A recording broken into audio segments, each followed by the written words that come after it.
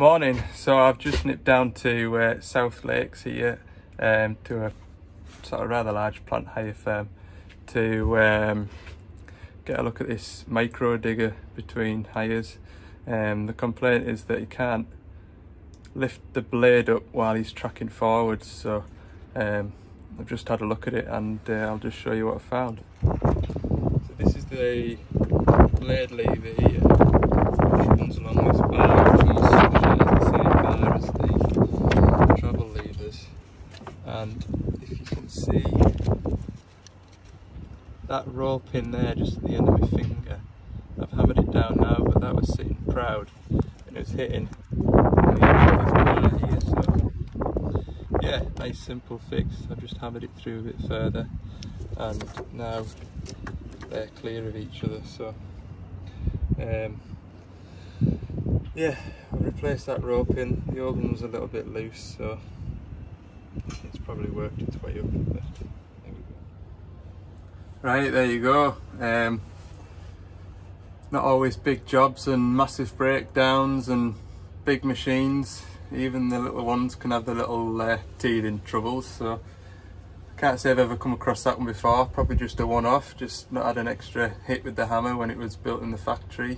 Um, or it's worked its way out, one of the two, but uh, either way, that's sorted. I'll uh, I'll get back up to Carlisle.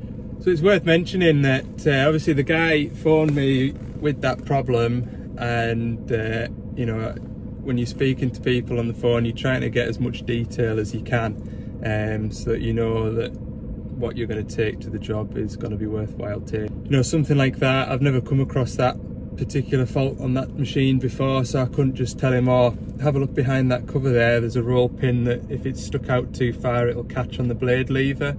Um, all he could really tell me was that his customer had had it out on hire and he couldn't lift the blade up while he was tracking forward, so um, yeah, it could have been, it could have easily been the rotary coupling, um, which, it, which transfers the oil from the top half spinny bit down to the bottom half where your tracks are.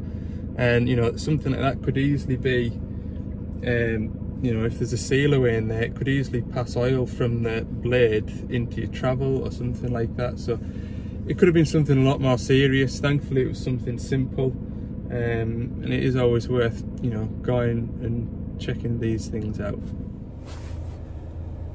Wednesday morning now and um, the weather was very damp and wet and cold when I left Carlisle. It's sort of picked up a bit now where I am and um, hopefully we shouldn't get too wet. I've uh, three machines I want to get to today, try and get them knocked off the list.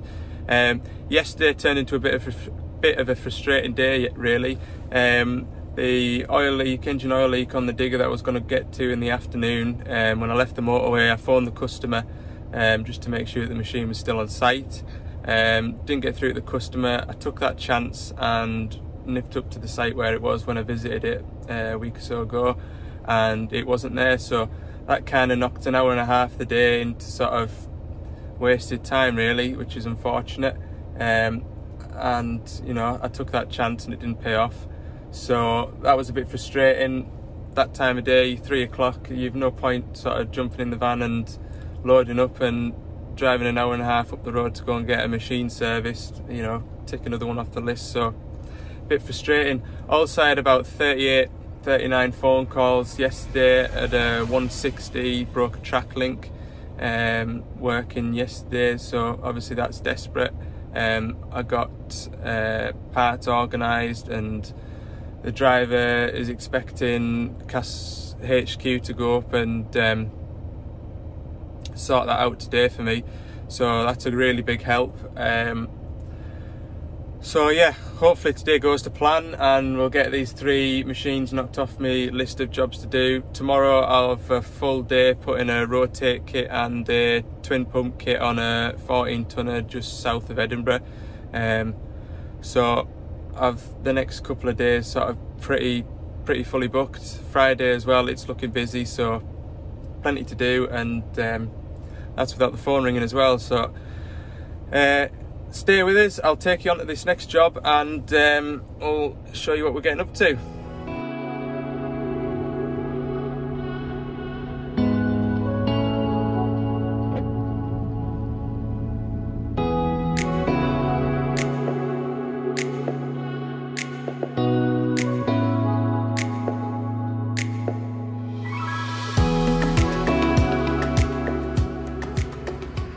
Right, I'm here. I'm in the woods, and uh, actually, these trees might be grand if the weather does turn. It's dry at the minute, so it's lurking behind the trees. So he's just gonna pull it onto this flat bit over here, and I'll get my van sort of pulled up.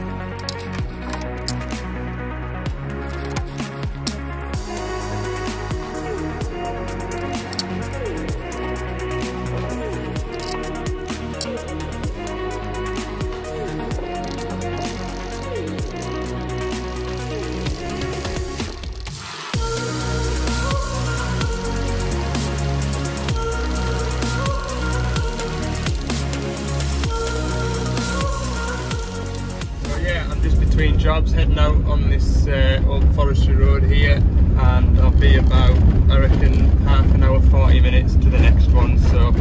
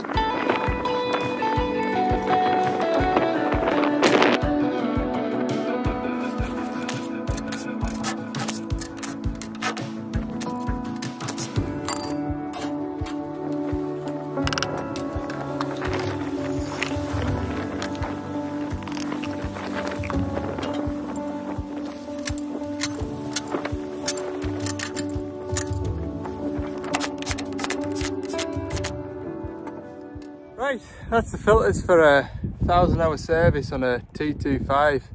Um, I'll keep this brief because it's windy and you probably can't even hear my voice, but oh, it's a grand spot to work. It is. uh, the rain's held off so I'm pretty pleased about that I'll uh, get some engine oil put back in it now and uh, literally over the hill in the same woods here there's another digger different contractor um, so we'll go and get that 160 service so I reckon about half an hour and uh, we'll get set off.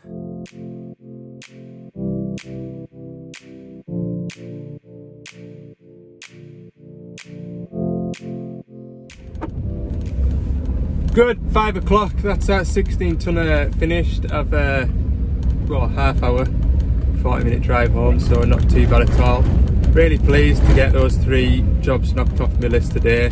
Spoke with the lads that were on with that other job for me and uh, they've got that knocked off pretty quickly as well so excellent job.